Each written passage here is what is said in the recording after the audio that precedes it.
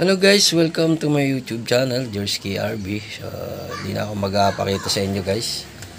Uh, pisa na natin. So, mayroon tayong ayusin yan guys. Yan, Yamaha. Uh, Natural Sounds EB Receiver RX-B 1600 guys yan. Cinema display digital guys yan. Kita nyo, yan. Yan ha. So, HDMI, DTS, yan guys, makita nyo. Yan ah. Yun. Okay. So, problema nito guys ay blackout na isaksak daw ng 220 to. So, ayan guys, oh. Check ko. Ayan. Ayan, nakakabit siya. Ayan. So, ala siyang power talaga. Ayan guys. Ayan. Ayan. ah. Naisaksak siya ng 220. So, tinanong ko yung may-ari. Hindi naman daw nababad. So, makita na lang natin sa loob guys kung ano yung sira. So, tara let's uh, buksan na natin guys.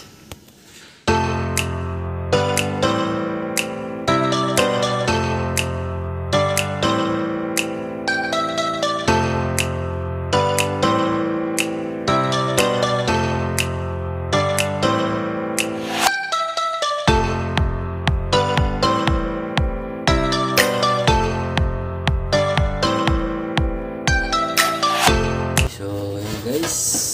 Yan. Ano ba yun?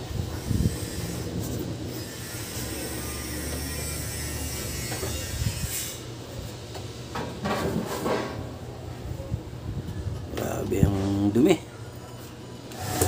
Okay. Ito yung power supply niya guys. Check natin itong mga ano niya. Mga fuse niya rito.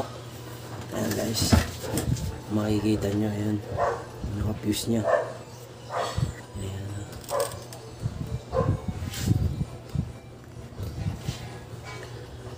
Ay. So yun. Check natin yung fuse nya yung buo. Brush lang natin muna. Medyo marumi na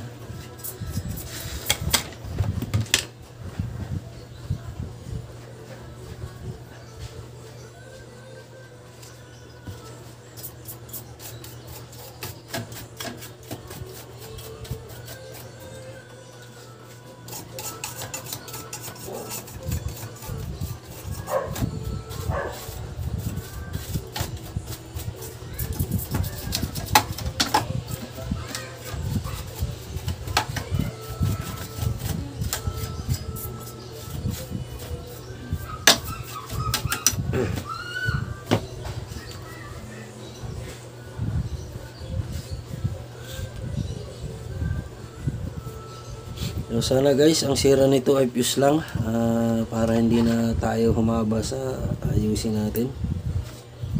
Dahil pagka mas maraming nasira nito, ah, mas malaki babayaran nito. Yung nagpagawa nito guys. Ayan. Okay. So, yung primary na fuse niya ay sira. Secondary. So buo siya. Ayan. Okay, buo yung secondary fuse. Ayan guys. ah. So, itong primary lang ang sira. Sira. So, ito guys. Kita niya. Ayan. Test natin. Kita naman. Test lang natin.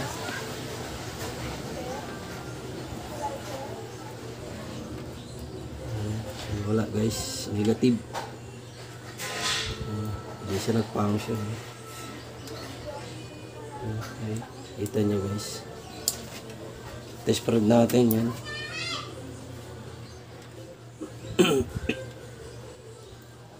ayan. So wala siya guys. Hindi nagre-respond. So sana ito lang maging sira. Okay. So, yung amperahe kailangan natin makita. 10 amperes siya guys. 10 amperes. So, kailangan natin ng 10 amperes. Okay, so. Testing natin. Yo. Okay.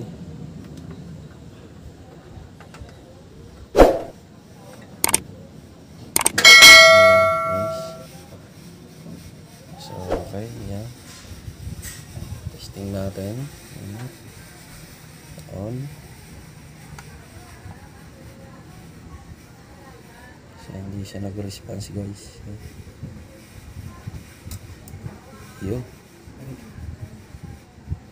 Okay, so, nag-on na siya. Yan. Okay. Okay na siya. Yan. Yun, very good. Fuse lang ang problema.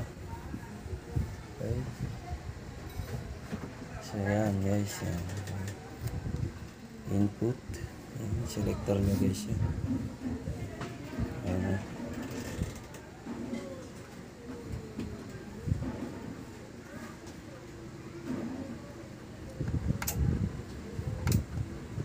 So, yan. Okay. So, okay na siya guys. Yan. Yan. Alaman natin kung ayos na siya guys. Yan, Okay na. So, yun lang ang naging problema niya guys. So, ngayon, lalagyan natin yan ng ah, Bluetooth to kasi hindi pa siya naka-Bluetooth guys. Yan oh. Wala siyang Bluetooth. Yan, lalagyan natin ngayon to ng Bluetooth.